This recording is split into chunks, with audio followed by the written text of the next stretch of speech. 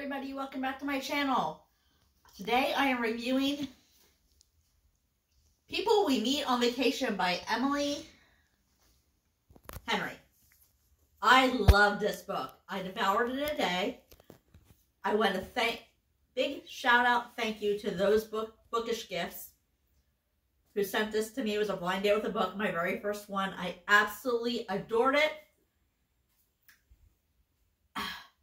And Alex are friends.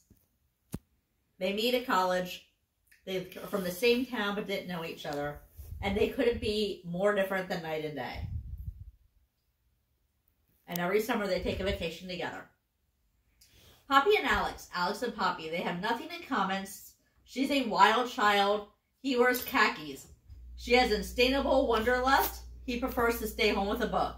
And somehow, ever since a fateful car share home from college many years ago, they are the very best of friends. For most of the year, they live far apart. She's in New York City and he's in their small hometown. But every summer for a decade, they have taken one glorious week of vacation together. Until two years ago, when they ruined everything. They haven't spoken since. Poppy has everything she should want, but she's stuck in a rut. When someone asks her when she was last truly happy, she knows without a doubt that it was on the, that ill-fated final trip with Alex. And so she decides to convince her best friend to take one more vacation together. Lay everything on the table, make it all right. Miraculously, he agrees.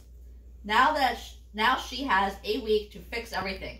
If only she can get around the one big truth that has always stood quietly in the middle of their seemingly perfect relationship. What could possibly go wrong? Whole book takes place in about a week, well, I lied. It it most of it takes place in about a week, but there's like a couple, you know, months or weeks after that as well. Um, but over one summer, so it's over a three month period. Fantastic book. Check it out. People We Meet on Vacation by Emily Henry. Five stars. Check it out. The next book that I am reading and going to be reviewing is Keanu Reeves, most triumphant, the movies and meaning of an irresistible icon. Hmm. So, I'm going to be honest with you. I won this off of Goodreads, and I already started it. It is not about Keanu Reeves' life. Keanu Reeves had no input in writing this book at all. I figured that out so far. But this will be the next book I am reading and reviewing. And so don't forget to like, subscribe, and hit the notification channel. Thanks and have a wonderful day.